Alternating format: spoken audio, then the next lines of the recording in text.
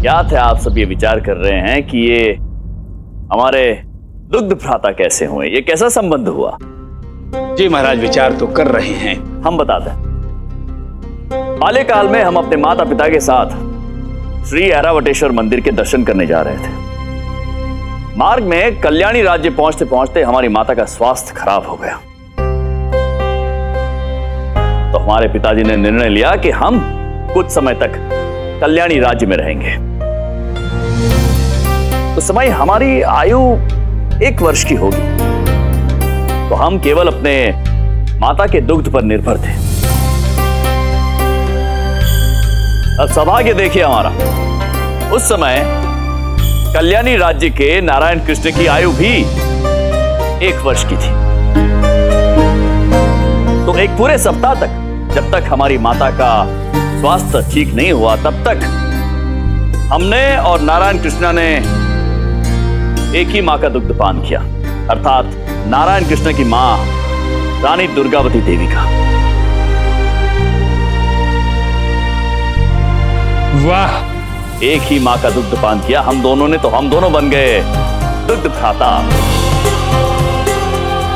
ऐसी कल्याणकारी कृपाकारी देवी की जय हो जय हो। जय हो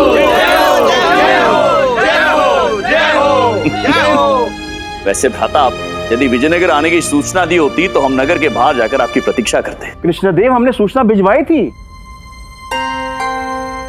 प्रतीत होता है दुर्बलता के कारण हमारा दूत आप तक पहुँच नहीं पाया।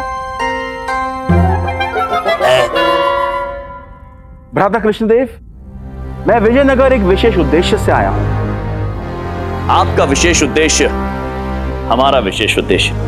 बताइए हम आपके इस उद्देश्य को पूर्ण करने हेतु क्या सहायता कर सकते हैं आपकी? भ्राता कृष्णदेव, हमारा सबसे प्रिय खेल है चौसर, अर्थात द्युत क्रीड़ा। और अपने इसी प्रिय खेल की वजह से हम अपना सब कुछ गवा चुके हैं।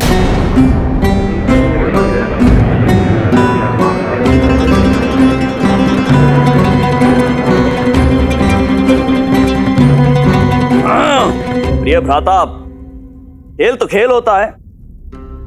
युद्ध क्रीड़ा क्या और घुड़सवारी क्या। यही बात हमने अपने पिताश्री को समझाने की चेष्टा की तो वो तो क्रोधित हो गए। हम भ्राता आपको चिंतित होने की कोई आवश्यकता नहीं। है अब आप विजयनगर राज्य में हम दुग्ध भ्राता हैं। आप में और हम में कोई अंतर नहीं है। बताइए हम आपकी सहायता कैसे कर सकते हैं? वचन देते हो कृष्णदेव? ऐसा क्या मांगने वाली है ये? वचन देते हैं। आप बस हमें बताइए आपको किस चीज़ की आवश्यकता है। हमारे राज्य से आपको वो प्राप्त हो जाएगी।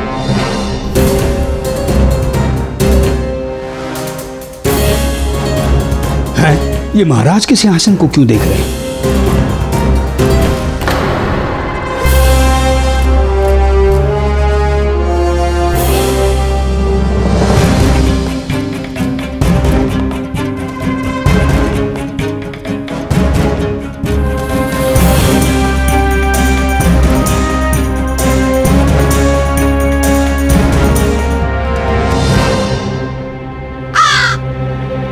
गुरु जी ध्यान दीजिएगा कहीं नारायण कृष्ण आपको ही ना मांग ले।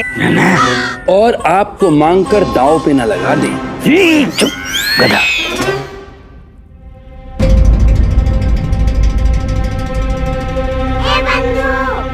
रामा ये तो दिवालिया है। शीघ्र कुछ कर। महाराज ने इसे वचन दिया है। कहीं ये महाराज से विजयनगर राज न मांग बैठे। तुझे तो ज्ञात है महाराज वचन पूर्ति करने के लिए अपने नेत्र तक देने के लिए तैयार हो गए थे।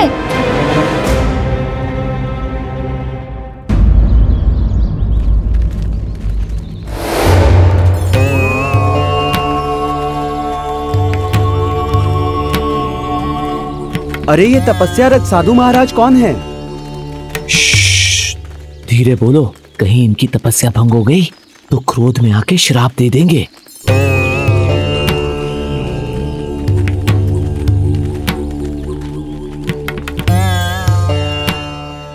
महाराज।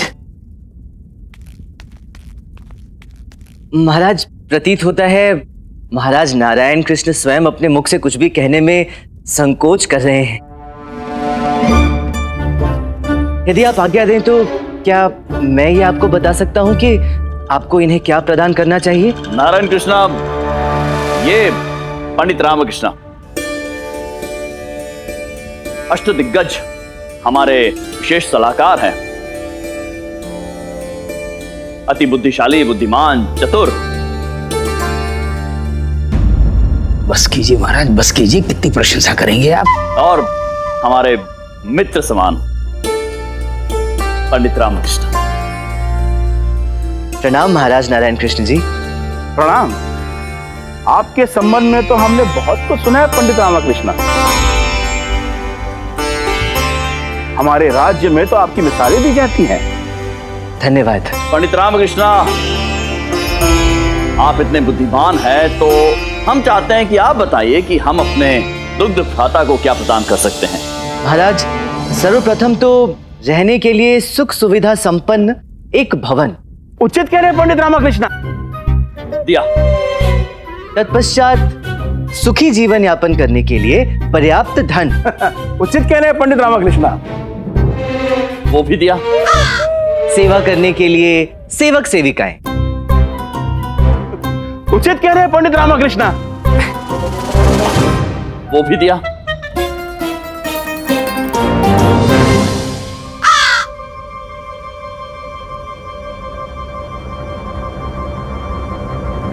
पंडित रामकृष्ण आप एक और वस्तु का उल्लेख करना तो भूल ही गए।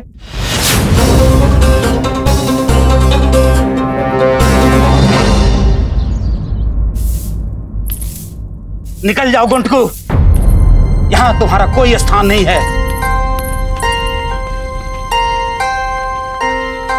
जिस तरह पूंख के पाँव पालने में दिखते हैं वैसे ही मैंने तुझे देखा है।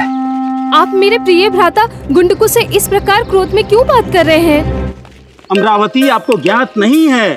आपके प्रिय भ्राता को गाँव के पंचायत ने बहिष्कार किया है। ये महा आलसी है। लोगों को मूर्ख बनाने के सिवाय इसके पास कोई कार्य नहीं है।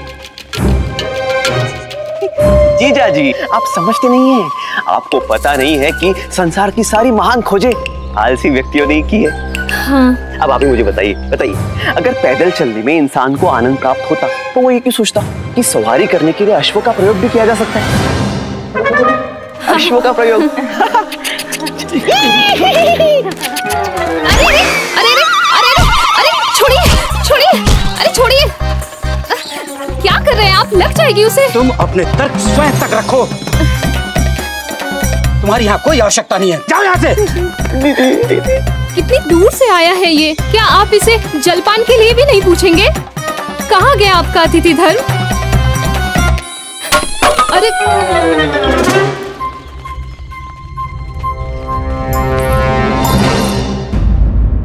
कृष्णदेव, हमें सुख सुविधा संपन्न भवन, सेवक सेविकाएँ, जीवन यापन के लिए पर्याप्त धन के अलावा।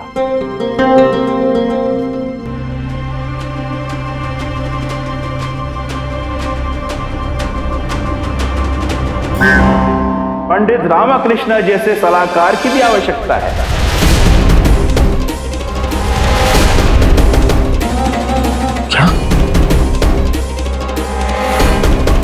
कृपया वचन अनुसार हमें पंडित रामकृष्ण जैसे सलाहकार प्रदान करके कृतज्ञ कीजिए महाराज।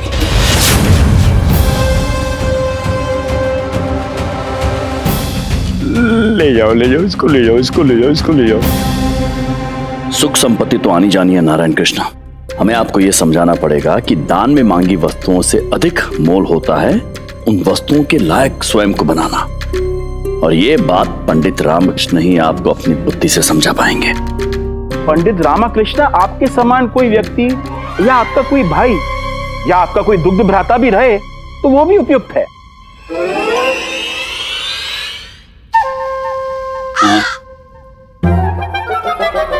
हम तो वचन भी दे चुके हैं। ना नहीं कर सकते हैं। हमें चिंतित होने की क्या आवश्यकता है? पंडित रामकृष्ण अवश्य कोई ना कोई उपाय निकाल देंगे। इस समस्या का निवारण वही कर देंगे।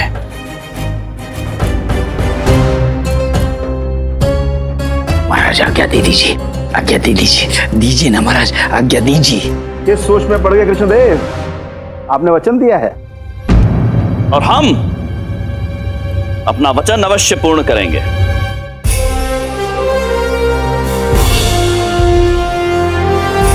कार्य हम पंडित रामकृष्ण को सौंपते हैं।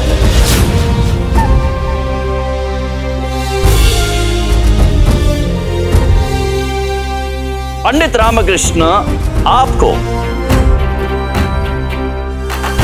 उन्हीं की भांति एक विशेष सलाहकार ढूंढ कर देंगे। भ्राता और पंडित रामकृष्ण नारायण कृष्ण के कथन अनुसार यदि आपका कोई भाई हो या दुग्ध भ्राता हो तो भी उपयुक्त होगा।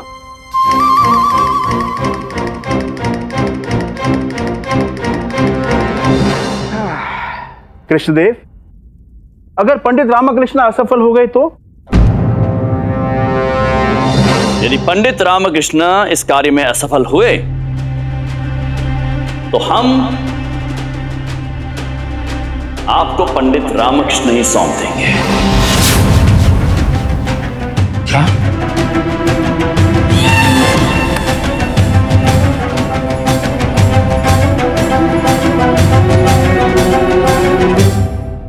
बहुत अच्छा होगा अगर ऐसा हो गया तो।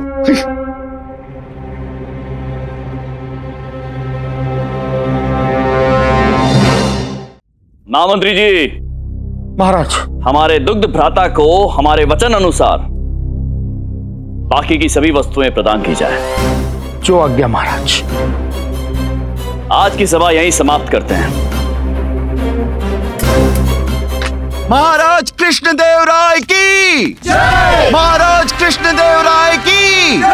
महाराज कृष्णदेव राय की। महाराज कृष्णदेव राय आइए महाराज। कोतवाल महोदय? जी मंत्रीवर। चलिए।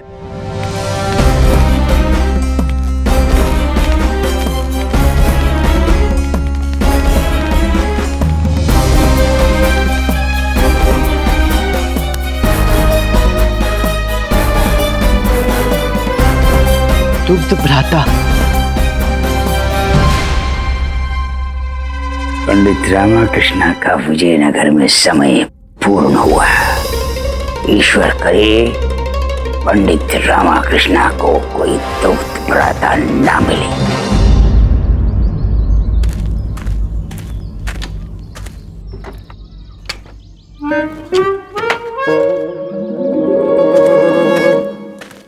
पंडित रामकृष्ण आपको उन्हीं की भांति एक विशेष सलाहकार ढूंढ कर देंगे। यदि पंडित रामकृष्ण इस कार्य में असफल हुए तो हम आपको पंडित रामकृष्ण ही सौंप देंगे। रामा अब क्या करेगा? महाराज का आदेश है तुझे अपने जैसा गुणी व्यक्ति खोज कर लाना है। हो सकता है तेरा कोई दुग्ध भ्राता हो। मेरी बात मान अम्मा से पूछ इस संदर्भ में वो तेरी सहायता कर सकती हैं। उचित कह रहा है बंधु।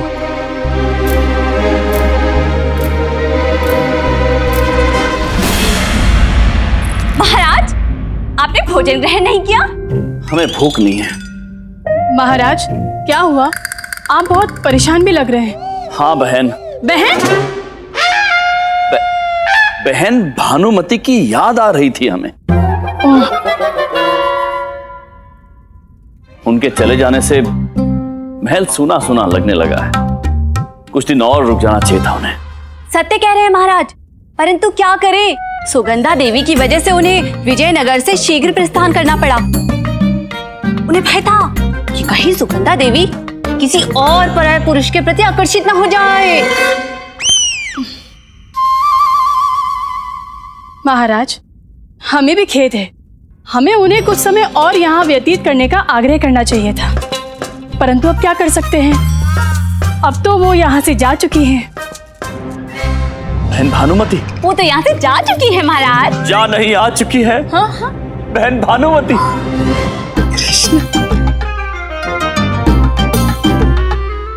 कृष्ण। मेरे भ्राता। प्रणाम। कृष्ण कृष्ण मेरे भ्राता। बहन भानुमति। कृष्ण इतने वर्षों पश्चात भेंट हुई थी। अभी तो तुम्हें देखकर मन भी नहीं भरा था। ऐसे कैसे चले जाते? इसलिए हम स्वयं को वापस आने से रोक नहीं पाए। अद्भुत निर्णय लिया। हम अत्यंत प्रसन्न हैं। सुगंधा देवी नहीं आई? क्या?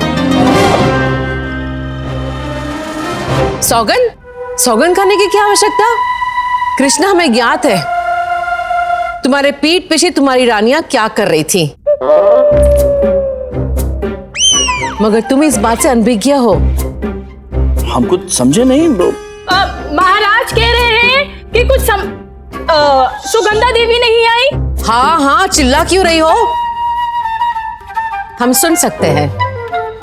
उसे हमने हमारे राज्य में वापस भेज दिया है। कृष्ण हमें तनिक विश्राम की आवश्यकता है।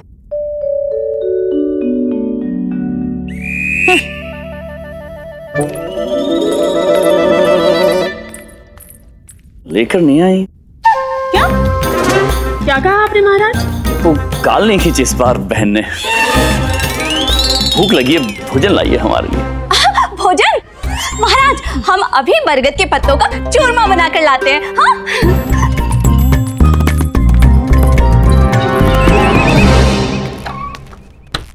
अम्मा! अम्मा! ओ अमेश्वरी सुनो क्या तुम्हें कोई ऐसा व्यक्ति ज्ञात है जो मेरे समान हो? चतुराई में बुद्धिमता में गुणों में। चतुराई में? हाँ। बुद्धिमता में? हाँ। गुणों में? हाँ। बेटा तू चतुर है बुद्धिमान है गुणी है। हाँ। ऐसा तुझे किस गधे ने कहा है? हंसो मत। उपहास मत करो। महाराज का आदेश है। अम्मा मुझे कोई ऐसा व्यक्ति ढूंढकर महाराज के दुग्ध भ्राता महाराज नारायण कृष्ण को प्रदान करना है अन्यथा महाराज मुझे महाराज नारायण कृष्ण को सौंप देंगे। ये लो। ए, ये, ये क्या कर रही हो? अम्मा मेरा कोई दुग्ध भ्राता है क्या? अर्थात बाल्यकाल में मेरे अतिरिक्त किसी और ने तुम्हारा दुग्ध सेवन किया था क्या? कहा? कुछ नहीं कुछ नहीं कुछ नहीं। देखिए आप अपने दरबार की समस्या घर मत लाया कीजिए। वैसे घर में समस्या क्या कम होती है? अब शारदा को ही ले लो। क्या हुआ शारदा को? ठीक है। आप हमें एक बात बताइए जब सीता माँ लंका से वापस लौटी थी तब उन्होंने अग्नि परीक्षा क्यों दी थी? अग्नि परीक्षा? वो वो तो पवित्रता की परीक्षा थी। भगवान राम मर्यादा पुरुषोत्तम थे। इसलिए ना चाहते हुए भी उन्हें सीता मैया की परीक्षा लेनी पड़ी थी। हर बार अपने चरित्र की परीक्षा एक स्त्री को ही देनी होती है। परंतु इस बार अपने चरित्र की परीक्षा एक पुरुष देगा और वो पुरुष होंगे आप। मैं? क्यों? क्योंकि क्योंकि आप इतने दिवस एक पराई स्त्री के सानिध्य में थे। अरे तो मैं अक, अके, अकेला कौन सा रहा था? तुम सब भी तो रहे थे ना? क्या, क्या तुम भी रही थी? उससे कोई अंतर नहीं पड़ता। आप एक पराई स्त्री के सानिध्य में रहे थे और इसी कारणवश आपको अग्नि परीक्षा देनी ही होगी। अरे परंतु शारदा। जब तक आप अपनी पवित्रता साबित नहीं कर देते तब तक आपको यही इसी आँगन में रहना होगा। अरे परंतु परंतु क्या? यदि आप अग्नि परीक्षा नहीं देना चाहते तो तो आपको उबलता तेल परीक्षा देनी होगी। उबलता तेल परीक्षा? उबलते हुए तेल में आपको हाथ डालना होगा। यदि आपका हाथ जला नहीं तो आप परीक्षा में सफल अथवा विफल। ना ना ना ना ना ना ना तुम क्या ना ना ना ना एक क्षण रुकिए। अरे ये क्या बोल रही है? हाँ, तुम तो कितनी बोली हो ना? ये क्या है? जलता हुआ कोयला। उठा लो। ए, नहीं नहीं नहीं ये लाल कोयला अपनी हथेली पे उठा लो। यदि आपकी हथेली जली नहीं तो आप परीक्षा में सफल। हाँ जल जाएगा। हाँ। चला सकते? हाँ माँ चला सकते चल भी सकते। अरे क्या चला सकते? तुम क्या नए नए उपाय दे रही हो इसको? देखो श- श- श- शारदा वो वो सब तो नाटक था ना। मैं पहले से ही पवित्र हूँ मैं कोई परीक्षा नहीं दूँगा। फिर भी फिर भी मैं तुमसे क्षमा माँगता हूँ हाँ? मुझे क्षमा कर दो। हमें आपकी कोई क्षमा नहीं चाहिए। अरे सुनो तो शारदा क्या कह रही है ये? ये परी है? परी तो कहीं की नहीं है। मैं परी हूँ। वाह। आपके नाटक ने मुझे कितना रुलाया है। आपको कुछ तो प्राश्चित करना ही होगा।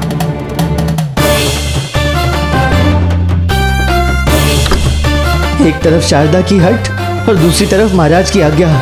अब ना जाने आगे कौन कौन सी नई समस्याएँ आएँगी।